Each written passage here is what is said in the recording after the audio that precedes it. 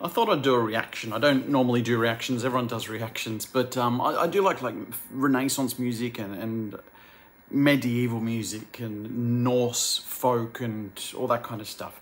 Um, so this song I haven't heard yet, but I've been told it's kind of should be up my alley. Bo- um, Bulgarian folk. It's called Kaval Sviri or something. So let's listen to it.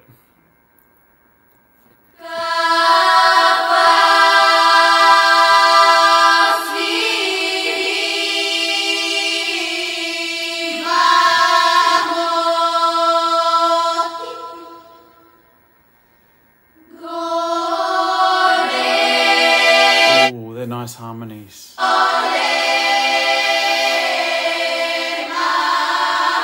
I'm gonna pause it for a sec.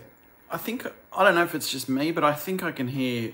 It sounds like it's in E, maybe E minor, and you can hear the minor notes. But you can. al- I think you can also hear they throw an F in there, so which creates this dissonance. It's almost like Phrygian combination of the minus Aeolian mode and Phrygian mode together. That's really really cool. I think that's what they're doing. I'm not sure if that's what they're doing, but that's what it seems to sound like. What's that? Hang on. I heard that. I thought I heard that before. Rewind.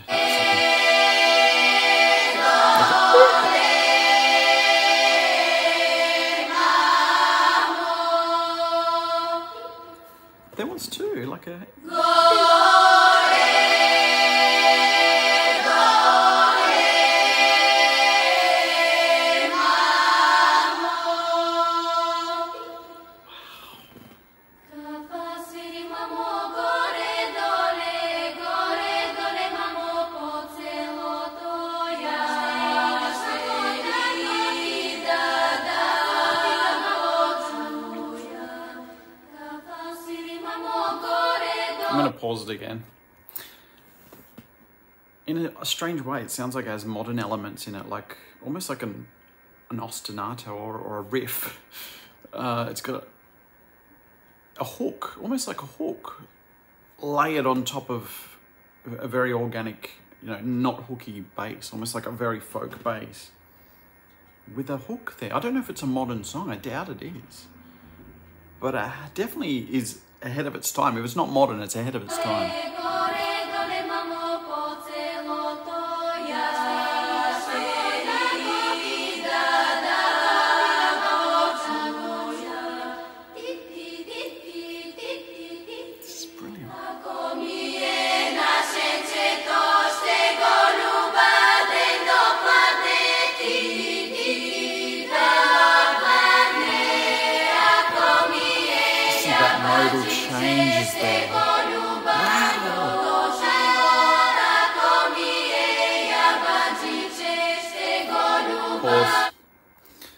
There's a lot of modal changes going on there, which they do in medieval music a fair bit, especially very early medieval music. Before they really had modes kind of set, they would experiment with different modes. I thought I even heard like a some kind of a major mode that almost has African vibes to it, an African sensibility about it. Interesting.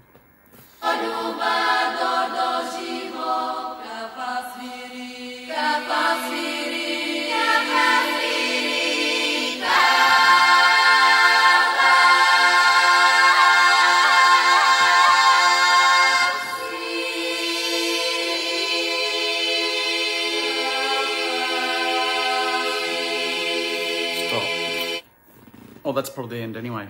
Right there before the end, there was a bit you could hear ah, this high voice, which is very, very reminiscent of Lisa Gerrard from Dead Can Dance, an Australian band called Dead Can Dance. Exceptional singer Lisa Gerrard. She's worked with Hans Zimmer.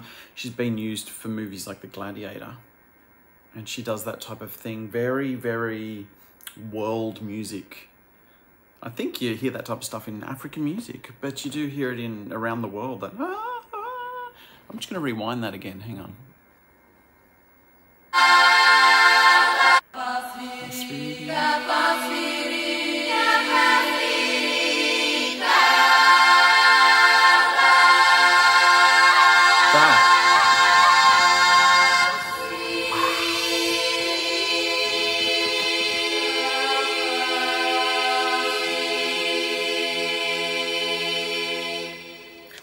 Fan. I'm a fan. That was amazing. I found a guy doing the same song, Luca Bazzetti. Why don't I listen to that as well?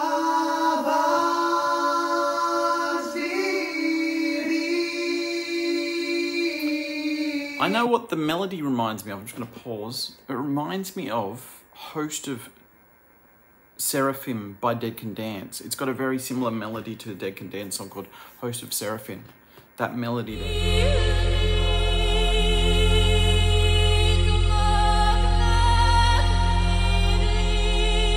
But also the way, let me have a listen to it again.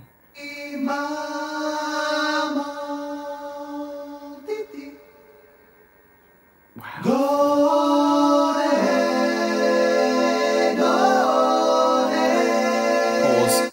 It also reminds me of a, a Nordic band called Byrdi. B Y B Y R D I. Think it is Byrdi. B Y R D I. Byrdi. And they got songs like Blå, Blå Nana Blå and stuff like that. Deg blå, nane blå.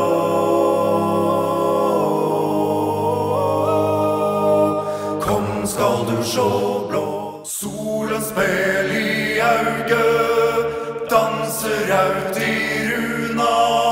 Svart ormebol, lenge var jeg der. I love it. I listen to a lot, but it's there's a lot of vocal harmonies with men where it's changing modes like this, and it sounds a bit similar to this.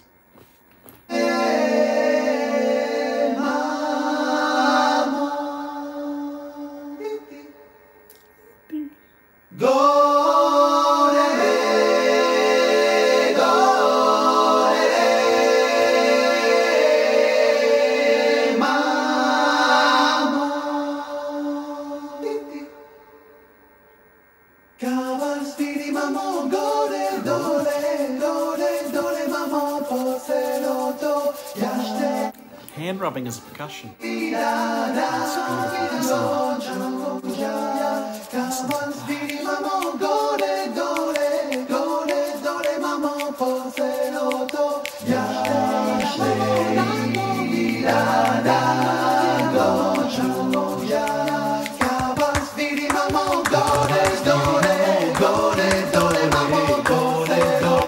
I love how the percussion is all man-made.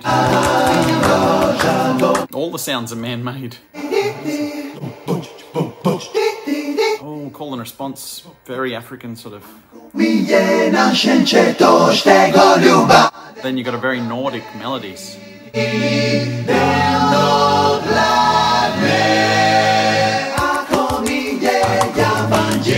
Jazz, it's jazz. All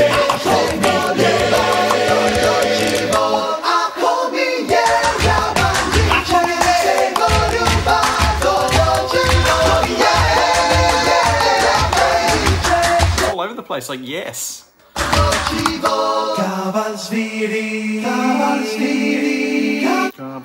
That sounds like Byrdi. This section sounds like Byrdi.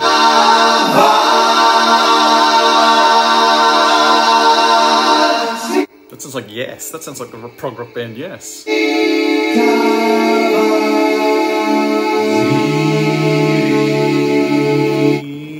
That Phrygian thing again at the end. Wow, that's amazing.